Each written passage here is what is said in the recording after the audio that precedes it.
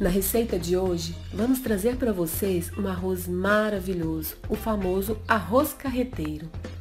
Oi, gente! Tudo bem com vocês? Espero que sim.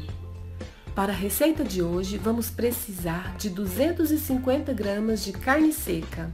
Eu vou dar uma limpada nela e cortar em quadradinhos. Vou dar uma ferventada por uns 10 minutinhos na panela de pressão, que aí ela já dá uma pré-cozida e dessalga. Vou colocar uma folha de louro para agregar um saborzinho especial. Enquanto isso, já vou fritando o bacon. Vou fazer nosso arroz na chapa, mas ele pode ser feito em qualquer panela que você tenha aí sem problemas. Aqui vou utilizar 150 gramas. Corta ele mais ou menos desse tamanho. Não precisa colocar óleo, que ele irá soltar óleo mais que o suficiente para o que vamos precisar. Vou deixar dar uma fritada e acrescentar um gomo de linguiça calabresa cortada em pequenos pedaços. Deixar dar uma fritada também para adicionar a carne. Antes que eu me esqueça, deixe aqui nos comentários de onde você está nos acompanhando para eu te mandar um abraço especial. E se você é novo por aqui, aproveite para seguir nossa página. Postamos receitas novas todos os dias. Agora já podemos adicionar a carne. Vou colocar o bacon mais a calabresa para o lado para fritar a carne mais rápido. E você, sabe de onde surgiu o arroz carreteiro? Quando o pessoal saíam em caravanas para transportar os bois. Eles utilizavam muito a carne seca e faziam misturada no arroz para resistir às longas viagens.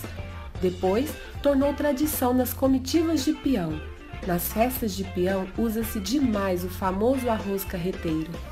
E nós vamos trazer para vocês esse maravilhoso arroz para se deliciarem.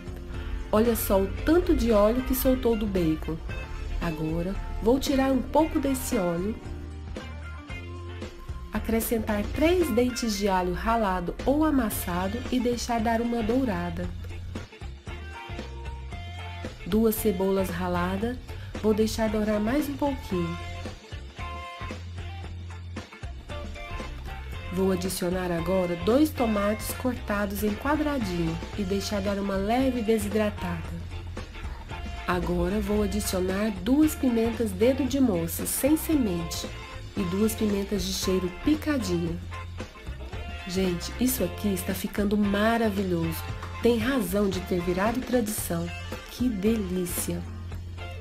Vou adicionar agora duas colheres de sobremesa de chimichurri.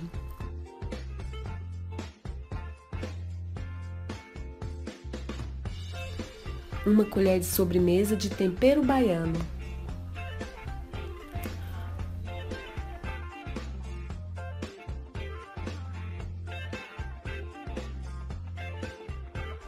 Vou adicionar 5 xícaras de arroz cozido e misturar muito bem.